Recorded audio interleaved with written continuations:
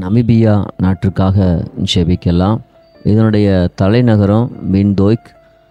Namibia தெற்கு ஆப்பிரிக்காவில் Antarctic பெருங்கடல் ஓரமாக உள்ள ஒரு நாடாகும். இதன் எல்லைகளில் வடக்கே அங்கோலா சாம்பியா கிழக்கே போர்ஸ்வானா தெற்கே தென்னாப்பிரிக்கா ஆகிய நாடுகள் அமைந்துள்ளன.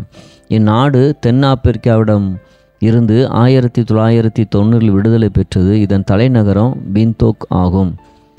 நமீபியா துணிச்சல நிலம் என்று அவர்கள் கருதும் கீதம். ஆயிரத்தி தொள்ளாயிரத்தி அறுபத்தி ஆறில் தென்மேற்கு ஆப்பிரிக்கா மக்கள் அமைப்பின் தலைமையில் சுதந்திரத்திற்கான கடுமையான போராட்டத்தை தொடங்கியது. ஐக்கிய நாடுகள் சபையின் சமாதான திட்டத்திற்கு இணங்க தென்னாப்பிரிக்கா தனது நிர்வாகத்தை நமீபியாவில் இருந்து அகற்றுவதற்கு இரண்டு சதாக்களுக்கு முன்னர் ஒப்புக்கொண்டது. சுதந்திரத்திற்கான துரோக போருக்கு இருபது ஆண்டுகளுக்கும் மேலாக நாடு குணப்படுத்தும் செயல்முறை தொடங்கியுள்ளது.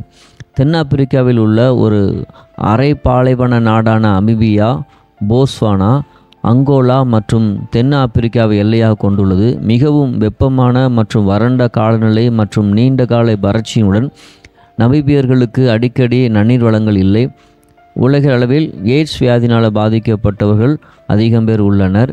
மேலும் நமீபியர்களின் ஆயுள் காலம் அறுபது ஆண்டுகளுக்கும் குறைவாக உள்ளது.